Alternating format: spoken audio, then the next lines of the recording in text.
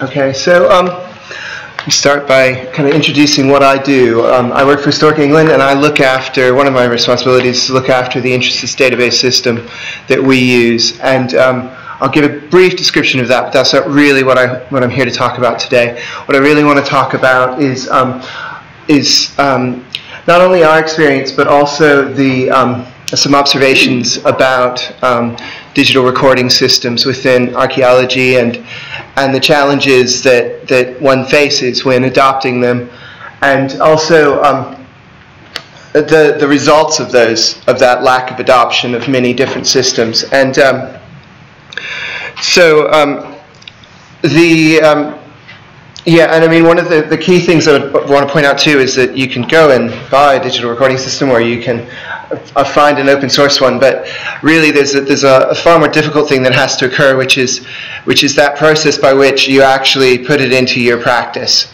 Um, and it's not just, you know, when you're thinking at an organizational level, it's not just an individual project archaeologist practice, but in fact, all of the project archaeologists for all of the projects, all the excavations they're running, and um, to be able to do that in such a way that um, you have a system that can be used by all of them to, to address their, their archaeological demands is, is, is a lot more than just a digital system. It's a lot of paper and procedures and processes, and, um, and you have to kind of work with your colleagues to work that out. And um, I'm hoping that um, what we've done starts to kind of create a, um, something where people can at least start to look at that and start to consider how um, how they may go about adopting a digital recording and and start to see some greater adoption of it because I think that there's um, a lot of methodological developments that depend upon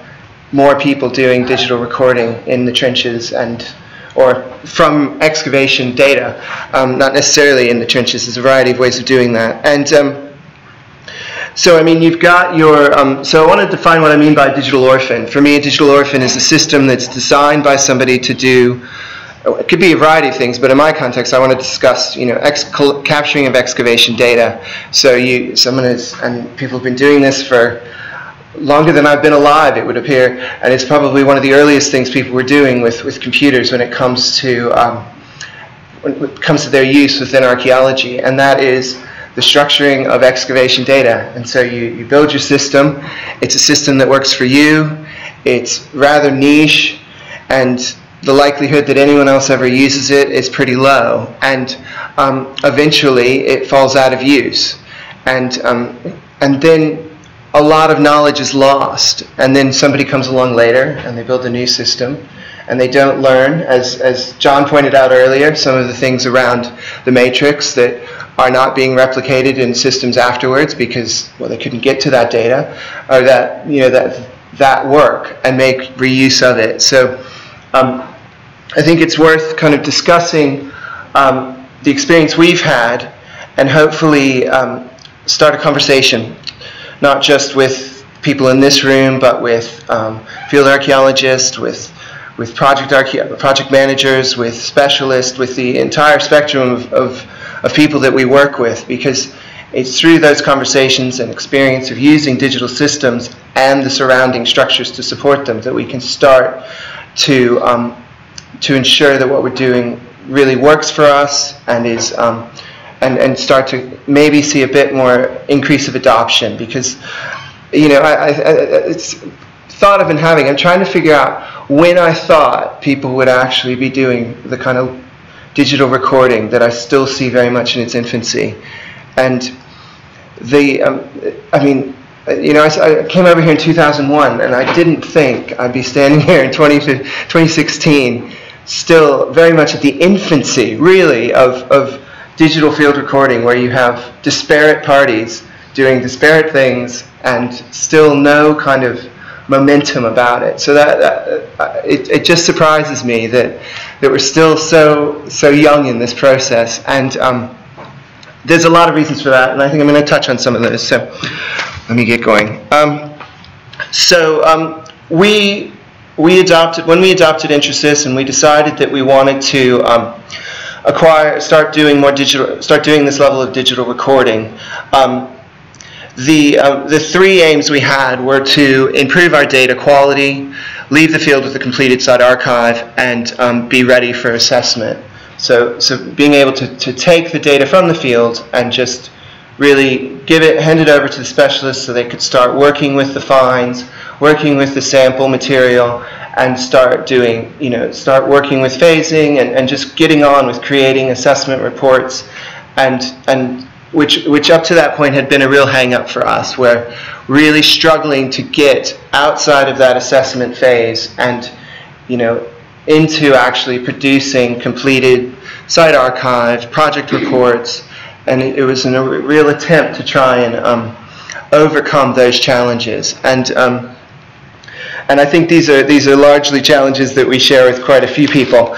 Um, and um, one of the things that um, that we identified as far as the um, improving data quality was that the um, there's there's different types of data that you need in the field. There's the types of data that you need to interpret and to that you that you're capturing yourself in order to interpret the archaeology. There's the the information you need for assessment that other people need to do their assessment work. And um, and so so there's there's and there's more than that, but that's those are kind of the, the, the key things. And one of the the area that we were really concerned with was that we were capturing this data and um, we had a real inconsistency to whether or not the quality, uh, how good the data was when, when someone got around to, to reusing it. And it was really at that point of reuse, i.e. an assessment, that anybody was um, was really looking at the data in some cases to see was it correct or not. And um, so we had to um, we had to say actually you know what we need to make sure we're not actually just arriving at this point where we're then you know storing up all these problems that we either know about or don't know about and then it, it all causes delays you know it's just this you know a problem that could have really been easy to fix in the field when it comes when you're out of the field and, and you know two months later even or and, and sometimes even longer further removed from that field work it, um, it becomes a much bigger problem and can be causing much greater delays. So we were keen that um, we were avoiding a lot of these data quality issues and that um, we could we could stop having so many of these delays. So um, so what, it, what we had to do is we had to change. We had to, um, and, and, and change is something that um, I've spoken about before, and it's something that, um, that is, is, is immensely challenging.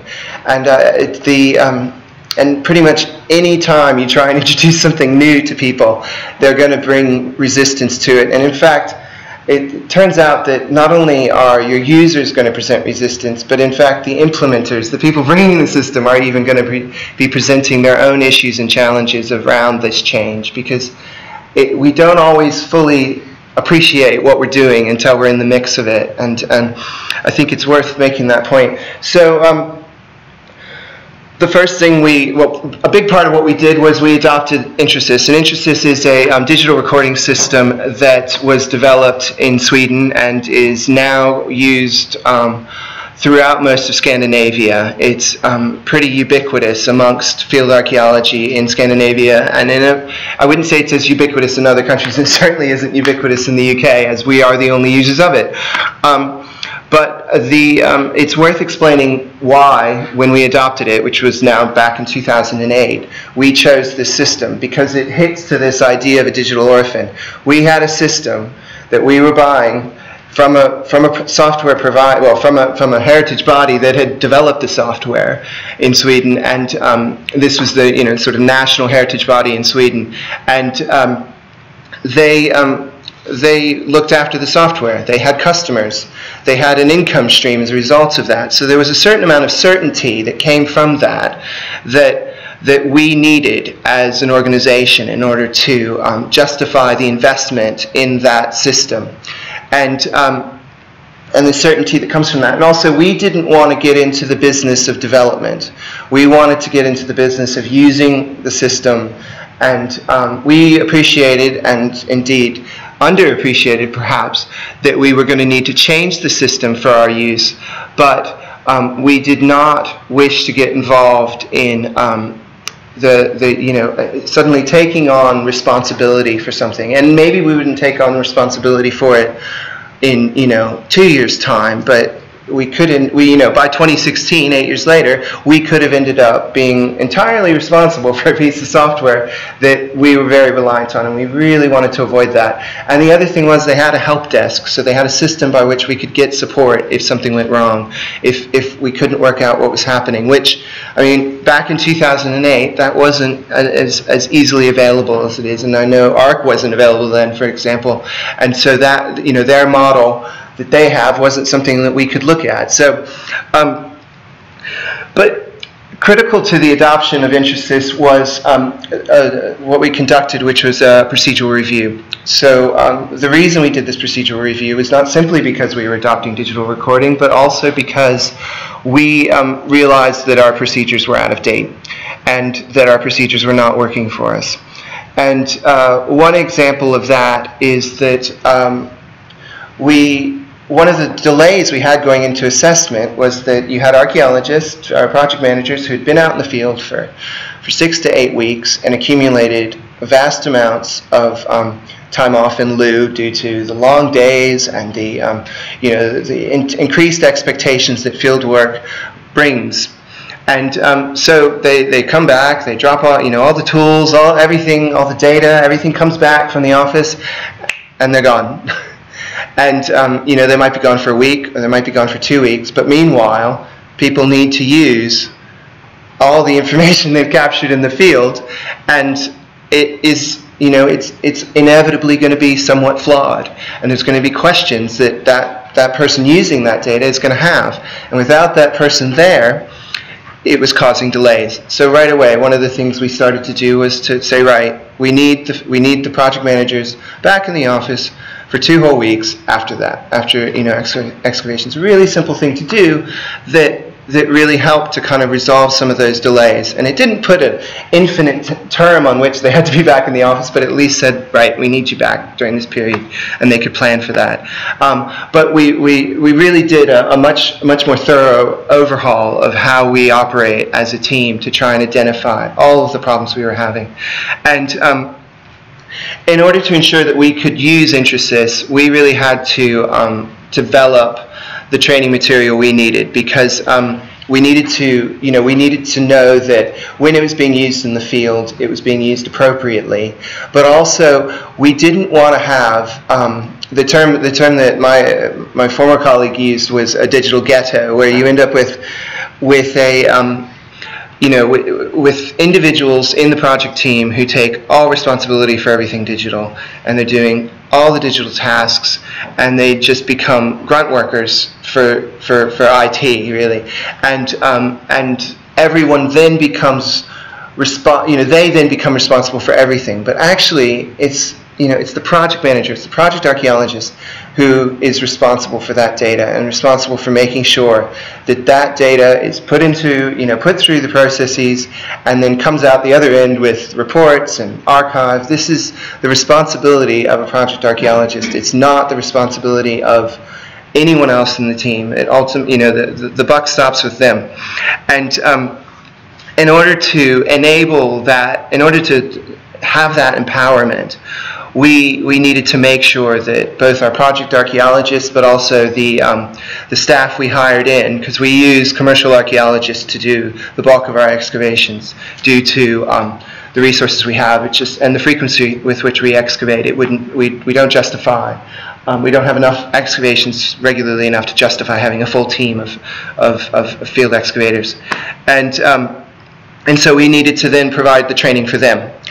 And um, and so, so we developed all of this material, and um, the um, and a, you know, so, so there was all of this. This ta- this took a lot of work. this was um, th- this was a you know a big step. And I should go back to the procedures as well, because one of the things we adopted and in, as part of Intrasis was uh, the identification of um, the need to do um, front loading. And front loading was um, is a term we've, we've picked up from um, the T4 work, so, so the um, British Airlines, uh, British Airport, Air, Air Aviation Authority Terminal 4 project at Heathrow, where they committed more resources to the excavation phase of a project in order to capture more of the information and then feed it back to the to the field archaeologist. So you're having a little bit of a you know a, a feedback loop about oh I've excavated this and then I can find out you know later on without a, such a long delay information about the samples that you've taken and the contents of them and the finds that and you know how they were classified. So you're getting things like spot dates, which to some extent I wouldn't say we, we, we entirely um, have, have delivered upon, but we, um, it, was, it was our intention to, to put more resource at that point. And one of the, um, one of the critical things we wanted to do was to, um, to make sure that the, um, the record that was being created was um, checked. And so um, it might be worth me going back and just describing the workflow that we have because um, we don't have computers in the trenches for a variety of reasons, um, many of which you already know and can imagine. I mean, this system relies on connectivity, which is is a challenge no matter where you're working, particularly, but particularly a problem in the UK. Um, I say no matter where you're working because that's that's not entirely true. The Swedes have very high bandwidth um, mobile data speeds, and they, they, they're quite happily using live digital data in the field, but um, that's not where we're at, and I don't know when we'll be there, but um, it's all, it always feels like tomorrow, um, and it has for a long time felt like tomorrow. Um, but um, we take into the field what we, what we refer to as pro forma, and these are they look a lot like a, a recording sheet, um, but they're slightly grayed out to identify them as something slightly different. And the reason we've done that is because the way we see that pro forma is as an impermanent record. It is uh, it's a it's to um, it's to help you um, understand what uh, you know, remind you of what you need to capture, so that when you create the digital the digital record, it will be created in the computer. We don't see the, the, the actual entry of the computer record into the system as a data entry process. We see that as the creation of the digital record and, and of the primary archive. Um, we don't excavate in London, as John pointed out. Um, we, we, haven't done much, we certainly haven't done any excavation with Intrasis, and we'd have to cross the bridge of, of the need for the um, what, uh, yeah, I don't quite know how else to refer to it other than the genuine paper record, um, which we don't feel we create. We, we create the pro forma, but the, the, the, the data archive that, and the archive that we create is a digital one. And it's created on site in a porta cabin on a computer.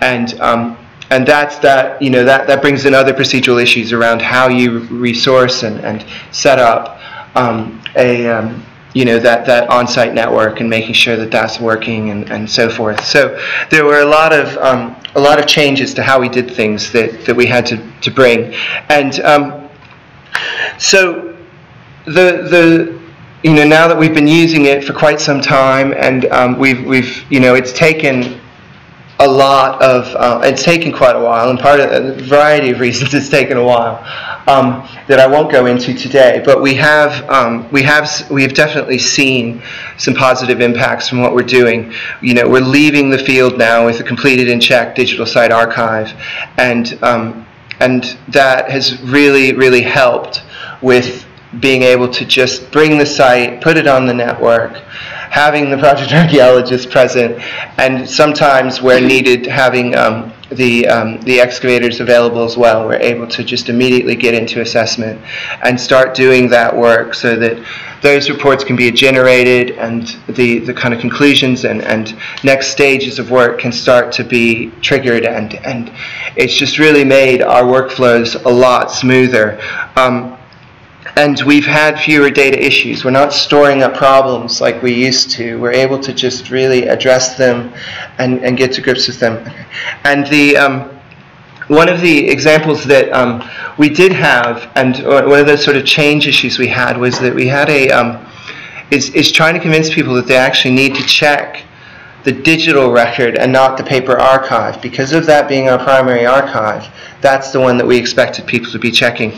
Um, but I really want to talk, and I've left five minutes for this. I probably should have been a bit quicker about the first sections, but um, is is that um, we, you know, I would like to see how we can help with this adoption, and um, I, I, feel like I feel like this section could be taken in a sort of patronizing way, and I don't really mean it that way because it's not about me helping anyone else. It is partially about that, but it's also about people like ARK, working with them, um, hearing from other people who are using digital archiving, sharing what procedures we've developed, um, sharing our training material, sharing the, um, you know, we have a system that if someone wanted to pick it up, they at least have a framework in which to say, you know, here's the straw men over here, let's have a go and see how they fit with how we do things. Everyone does things differently.